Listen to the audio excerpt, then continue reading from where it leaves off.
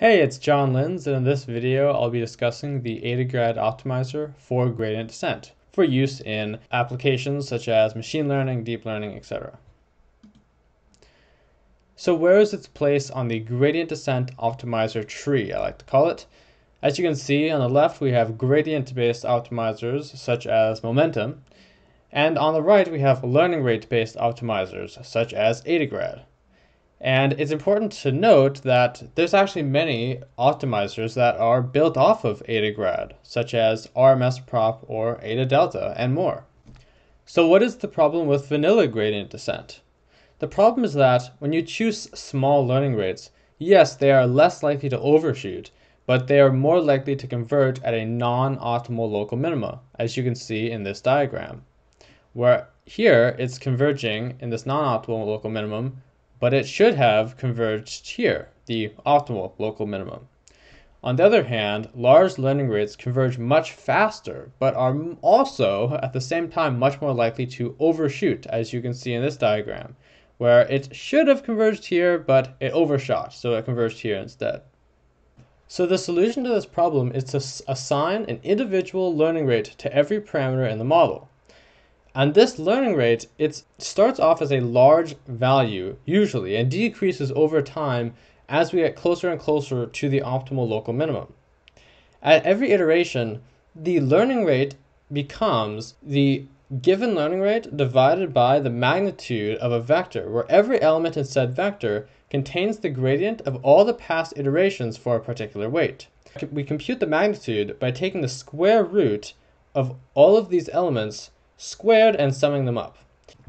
So the concept behind this idea is that for each iteration, the cache value of the ith weight or ith parameter becomes the original value plus the ith element of the gradient squared. So essentially we are, we are adding on to the cache value and each value that we're adding on is the gradient element of a particular weight squared. The new ith parameter then becomes the original ith parameter minus the learning rate times the ith element of the gradient divided by the square root of the ith cache value plus some small positive number. And that small positive number is just used to prevent division by zero, because of course that would cause a problem at runtime, which we would not like. So what does that all mean in math terms? So essentially what we're doing is that we are constructing a gradient vector, and we have to do this regardless of what optimizer we're using. Every time we compute gradient descent, uh, we always have to construct a gradient vector, of course. So I'm sure you're familiar with this. The gradient vector um, is usually denoted by nabla, where nabla sub i is the partial derivative of the loss function with respect to the ith parameter or the ith weight. And of course, we have to evaluate it at the weight values. This essentially just tells you the slope, and uh, this was visually demonstrated in one of the previous slides. The next step is to assign a cache value to every parameter. And the reason we do this is because every parameter, when using learning rate based optimizers, they all have their own learning rate associated with them rather than a single universal learning rate.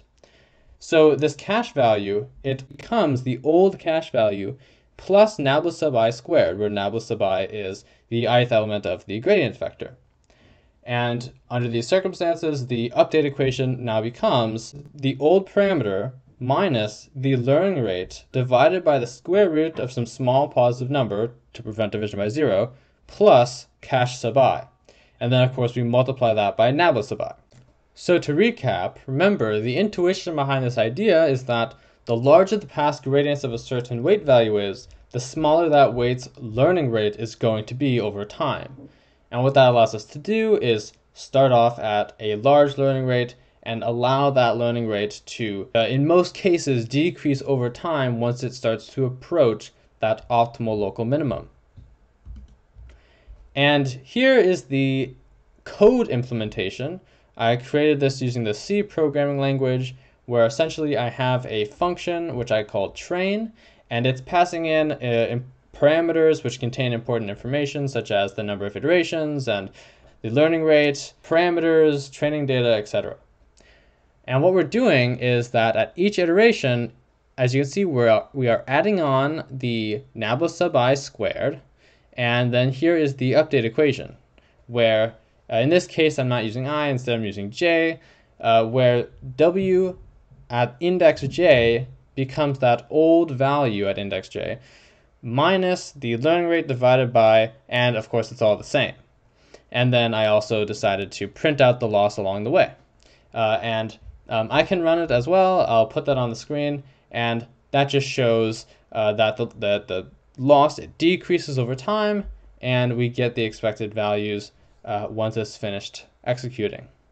Thank you so much for watching, and uh, hope to see you in the next one. Goodbye.